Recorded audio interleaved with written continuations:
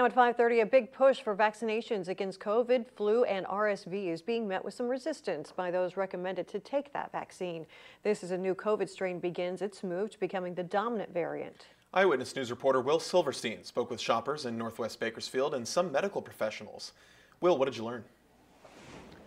Well, Michael, from those medical professionals, I learned people can receive all three vaccines at once. But from those shoppers, well, I learned there may not be vaccine hesitancy as much as a lack of urgency to get vaccinated.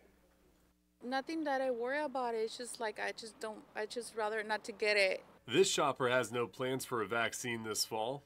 I did had it like years ago, but yeah, I just decided not to get it this year. Our second shopper, well, he's not getting a vaccine either and is not worried about getting sick. No, I'm not worried about it. So you're not too worried about getting too sick? And... No.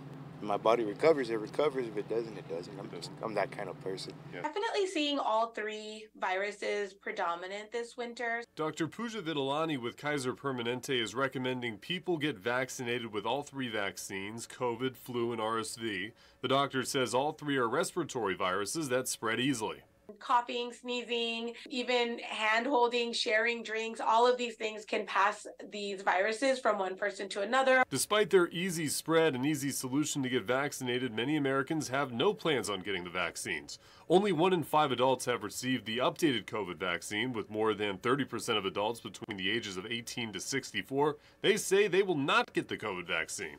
A recent Ohio State University study added flu to the question, and still around a third of respondents say they will not receive the vaccine either.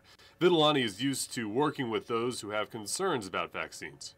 We ask them if they have any questions about it. And one by one, we address each question and concern so that they feel secure in making that decision, whether they want to take it or not. This week is uh, recognized as National Influenza Vaccination Week. Safe Namik with CVS says this week helps promote safety against flu, while most doctors and pharmacists recommend receiving the vaccine in the early fall.